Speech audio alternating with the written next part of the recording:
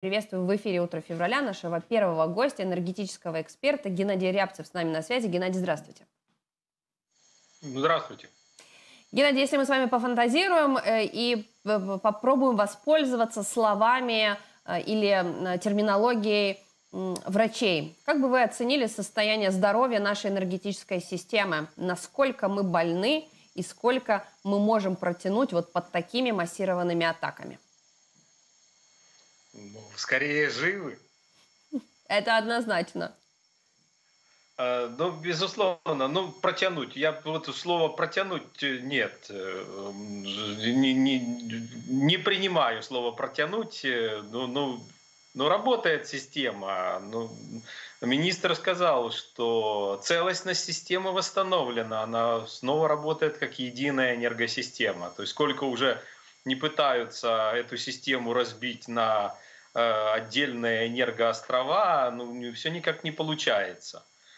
Безусловно, ситуация очень сложная. Безусловно, каждый раз восстанавливать э, объекты, куда постоянно прилетает, становится все сложнее.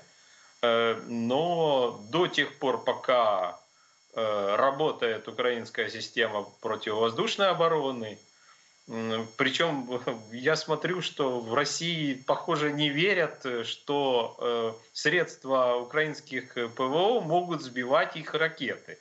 Вот, вот эти вот постоянные, постоянная иронизация над тем, что запустили 70 ракет, а сбили 80, ну, ну это явно э, э, не соответствует реальному положению дел. Ведь действительно сбивает больше 50%, намного больше 50%, поскольку 50% сбивают советские системы.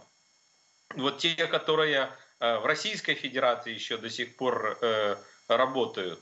Э, но дело в том, что у нас же основные средства противовоздушной обороны – это западная система. И у них каждая ракета – это цель. Поэтому э, нет ничего удивительного в том, что э, массированные обстрелы, э, они проходят через очень частое сито украинских ПВО. И до объектов энергетической инфраструктуры, безусловно, долетает, но далеко не все то, что хотелось бы, чтобы оно долетело из Москвы. Э, второе, что э, радует, это то, что э, все-таки есть оборудование, хотя и дефицитное, хотя и дефицитное, хотя и не всегда вовремя есть, но есть оборудование, которое позволяет достаточно быстро восстанавливать поврежденные объекты очень хочется, чтобы этого оборудования было больше, и чтобы оно поставлялось именно так, как э, именно туда, куда э, необходима именно энергетика. То есть здесь очень важно, чтобы э, помощь, э, которая э, сейчас идет из Европейского Союза, не только из ЕС, она была бы востребованной то есть она была бы не просто так, чтобы помочь чем-нибудь. Это тоже хорошо, безусловно, но сейчас, и если речь идет об энергетической системе, очень важно, чтобы энергетики получали именно то, что они запрашивают. И э, в этом плане очень важна роль э, Министерства иностранных дел Украины, которое должно координировать эту работу, причем на очень профессиональном уровне.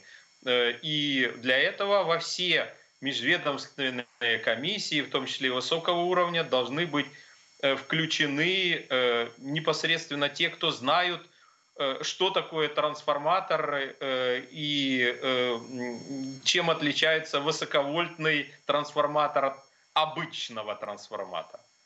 Геннадий, а позвольте... Если эти две тенденции Позвольте, я уточню. Э, вы просто сказали очень важную вещь, да, что не протянет наша система, а все хорошо, насколько это возможно, под такими массированными атаками. Я думаю, что, может быть, вы видели, может быть, нет, но вчера в очередной раз, когда мы находимся вот под закрытым небом этими ракетами, и они пытаются уничтожать нашу энергетическую систему. Конечно, этот момент полная эйфория, к сожалению, в российском обществе, потому что им пропагандисты обещают что? Что они оставят всю Украину без воды, без тепла и без света. Технически и технологически это вообще возможно сделать? Есть действительно риск того, что вот еще, не знаю, один, два, три таких обстрела, и вся наша энергетическая система ляжет? Ну, лечь не может. Ну, ну как можно э, выбить э, все энергетические объекты? Ну, это, это невозможно даже в принципе. Даже того количества там нескольких тысяч ракет, которые есть в распоряжении э, Российской Федерации, не хватит для того, чтобы поразить все без исключения объекты энергетической инфраструктуры. Даже в том случае, если э, украинские ПВО, э, их все, все значит, э, кто там работает, э, сядут и будут сидеть сложа руки. Ну, во-первых, они не будут сидеть сложа руки, а будут сбивать все, э, до чего эти руки дотянутся. А во-вторых, э, э, ну, если бы мы были Сирией, где там одна-две станции и все. Если бы мы были Грузией, там, где одна-две станции, и дальше после этого коллапс, и в случае их выведения из строя. Ну, ну мы же Украина.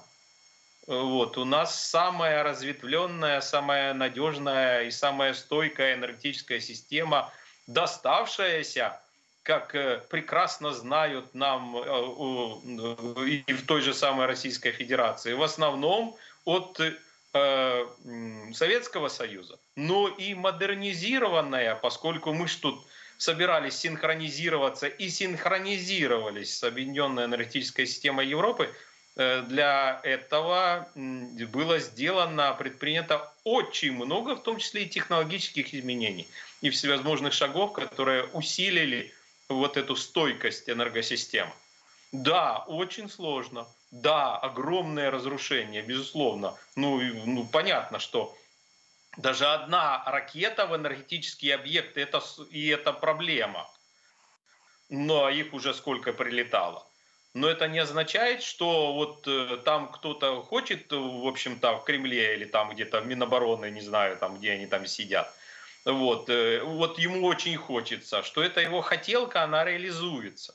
Тем более, что там достаточно заглянуть в глаза Суровикину, чтобы понять, что там интеллектом, ну, нету там, ну, ну, ну там нету его. Ну, вот просто посмотрите в эти глаза – и вы поймете, что он просто не поймет, что такое энергосистема вообще.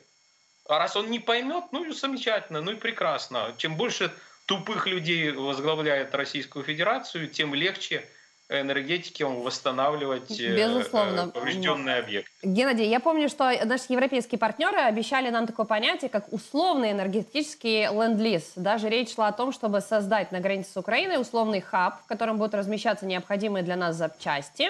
И таким образом Украина будет иметь, э, насколько это возможно, быстрый, быстрый доступ для ремонта. Но, несмотря на то, что мы действительно присоединились к европейской энергетической системе или стремились быть на них похожей, они существуют, работают совершенно по-другому. У нас это действительно старая там советская система, именно поэтому мы не можем взять и попросить у условной Франции трансформаторы. Да, нам надо как раз идти к бывшим странам, которые вместе с нами были э, в советской колонии. Как это совместить, как это сделать, если европейские запчасти, которые подходят к их системе, нам надо просто максимально быстро перестраиваться и переходить на подобные к Европе системы. Только так тогда возможен этот ремонт и замена деталей? Ремонт и замена деталей возможно и на немецкое, и на французское оборудование. И ну, единственное, что, чтобы заказ, э, то есть техническое задание на соответствующее оборудование э, э, отправляли энергетики. Не угу. политики, не э, дипломаты, а именно энергетики. А то, что у нас огромное количество и немецкого, и французского оборудования уже давным-давно работает, в том числе и высоковольтных, высоковольтных трансформаторов, так это не секрет. Так, так а как же, как же без этого, собственно говоря? Ни один трансформатор не, не, не с советского времени, ну, я сейчас, честно говоря, не помню, там срок службы ну, уже давным-давно бы закончился. Вот. Да, оборудование существует и старое оборудование, может быть, где такое, где устаревшее морально и физически. Однако это не означает, что вот просто была в советская система вот такая вот в консервированном виде, и она на протяжении последних 30 лет никаким образом не изменялась. Да, изменялась еще как. Причем вот и, и это почему-то не понимают в том, в том же самом Кремле. То есть вот, вот ну, может быть, они судят по собственной системе, вот, которая там где-то за Уралом так и осталась э, на уровне, я не знаю, 913 года, наверное. Но, э, но здесь изменения происходили, опять же говорю. Ведь э, представители европейского энергетического сообщества не включали бы нас, не разрешали бы нам синхронизироваться с их системой если бы э, те требования, которые выдвигаются э, эксплуатантами и диспетчерами э, и операторами к украинской системе, они бы каким-то образом бы отличались от энергетической системы той же Франции или Германии. Поэтому именно, кстати, это и является одним из э, тех э, вещей, э, которые э, позволяют надеяться, что система сохранит свою работу даже в результате следующих обстрелов. Услышали вас, Геннадий. Спасибо большое, потому что там в России э, ваши комментарии, ваша аналитика точно настроение испортила, а мне, наоборот, стало еще более спокойнее и увереннее. Хотя я, честно говоря, вообще не боюсь никаких Эм, ограничений с э, коммуникациями, потому что я понимаю, что все это крайне крайне временно, и все это, конечно, будет восстановлено. Но, тем не менее, вы рассказали еще даже лучше перспективы, чем можно было себе представить. Спасибо большое. Друзья, в гостях у нас был энергетический эксперт Геннадий Рябцев.